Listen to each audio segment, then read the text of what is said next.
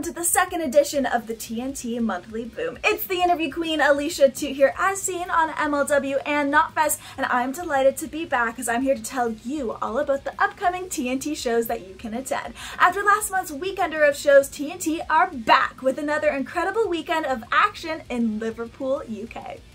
The first show of the weekend will be Saturday, August 28th for TNT Extreme Wrestling Summer Explosion and Hangar 34 with six matches and a bonus seventh match for any VIPs out there. Don't forget to get your VIP tickets now as you will get the chance to meet the likes of Clint Margera, Lizzy Evo, Lana Austin, LJ Cleary, and BT Gunn as well as getting to witness the one-on-one -on -one match between Aurora Tevez and Angel Hayes.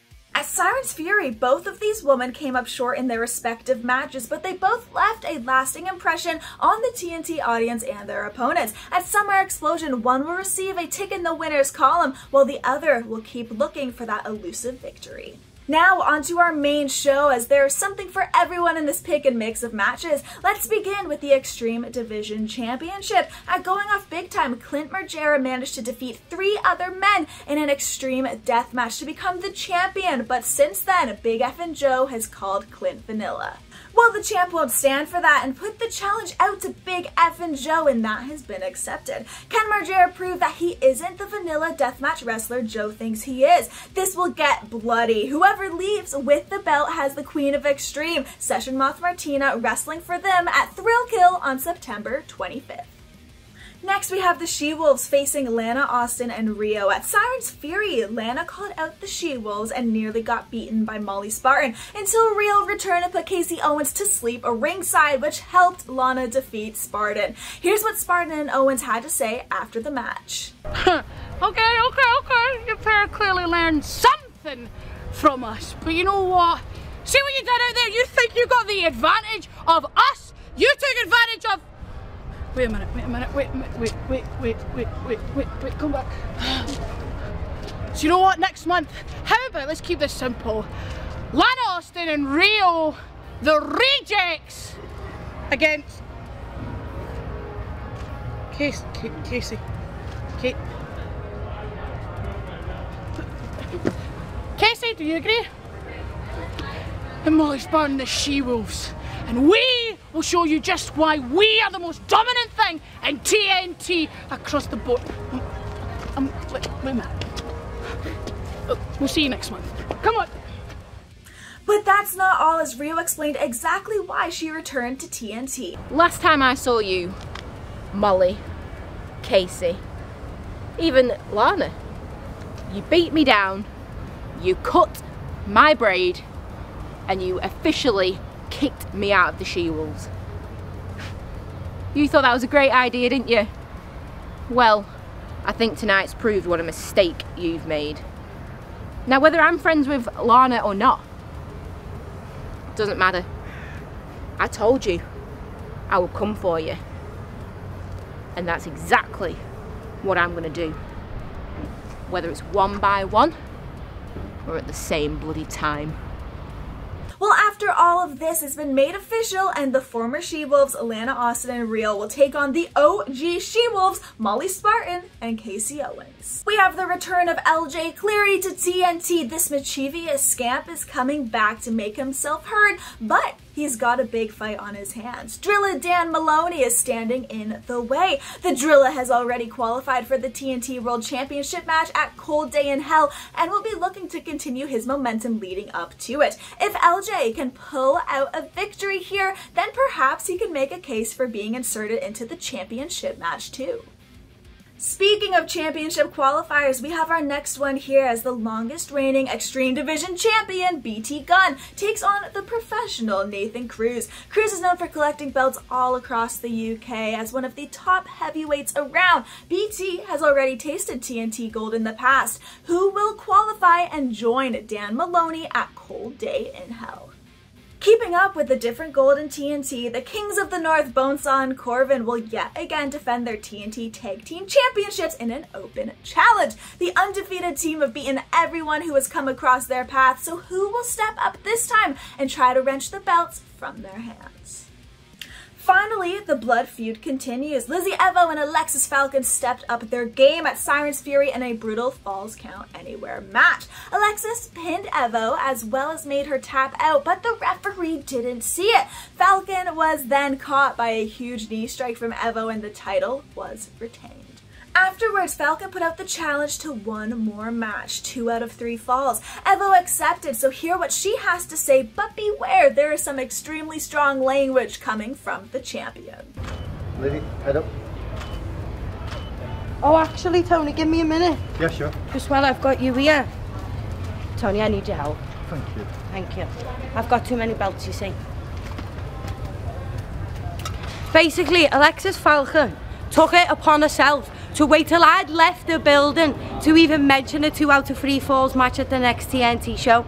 So let me just tell you, Alexis Falcon, you're in my fucking city. You're in my town. You don't get to dictate what the fuck happens around here. That's for me to call the fucking shots. So I've got a problem with you, and I'm gonna say it to you right the fuck now.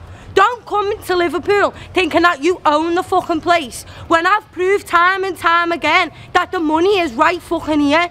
So yeah, I'll give you your two out of three falls match just to prove that it's not a fluke and just to prove that you are a load of fucking shit. I'm the TNT Women's Champion, not you. Not one single person backstage will ever fucking change that.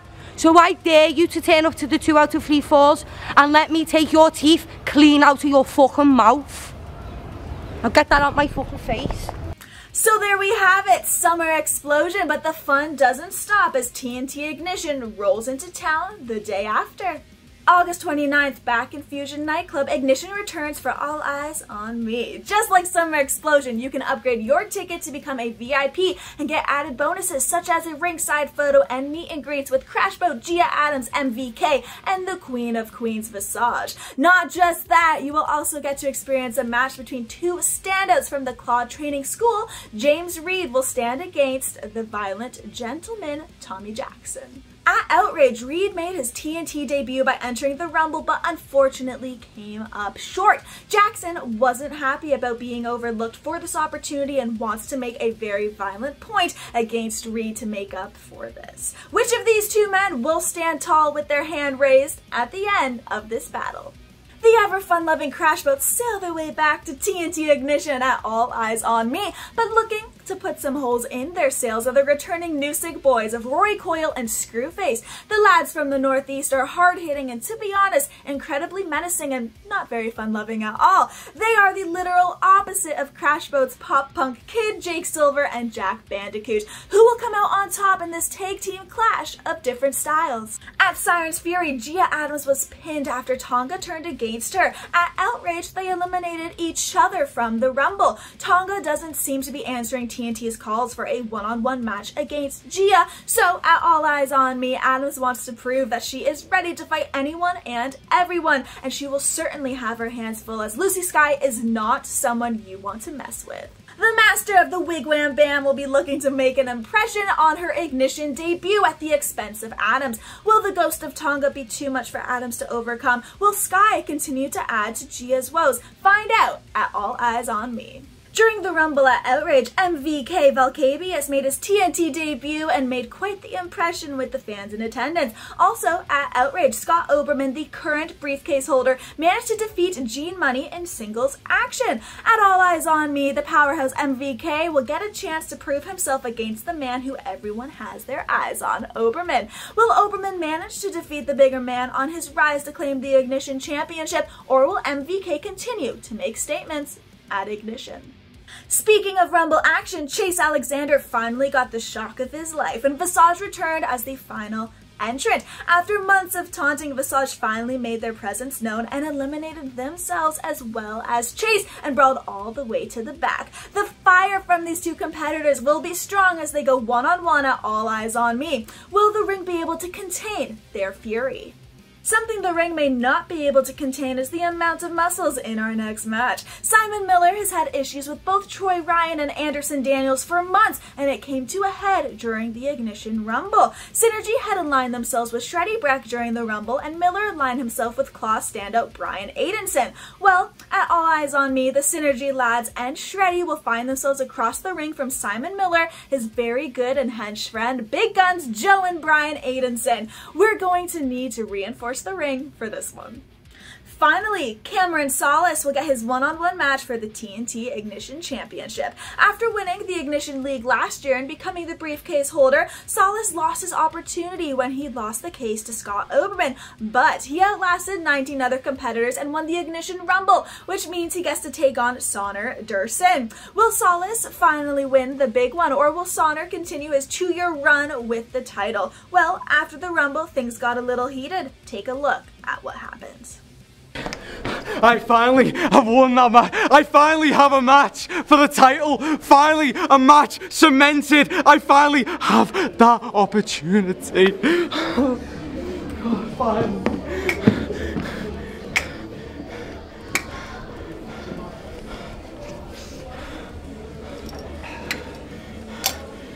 First of all, Cam, I just want to say congratulations. You are now officially the second best Rumble winner in TNT Ignition history. But if you really think you deserve this championship, well then you've got another thing coming. I am the most dominant champion in not just TNT Ignition, but TNT history. Two long years as champion. So if you think you're going to take this off me, then you've got another thing coming. Can I just remind you of one thing, lad? You won that belt at a Rumble, a Rumble I wasn't a part of. And I've just won the second Ignition Rumble. So need I remind you again, lad? See that belt? You've been carrying my title around for two years. And what are you gonna do about it?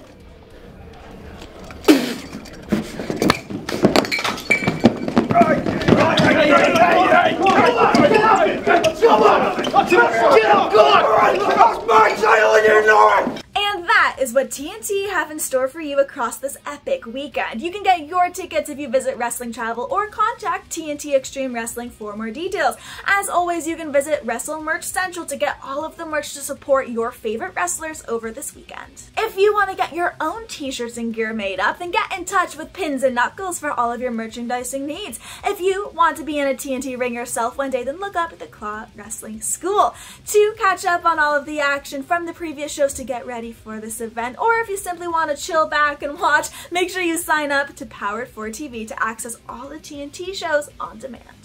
This video was sponsored by Rammer Clobber, so make sure to go follow them on Facebook and Instagram. There are so many amazing shows and events on the horizon, so be sure to get those tickets now. Again, I'm the interview queen, Alicia Atout, and I am signing off on behalf of myself and TNT. This has been TNT Monthly Boom, and I cannot wait to see you all next month. Until then, bye.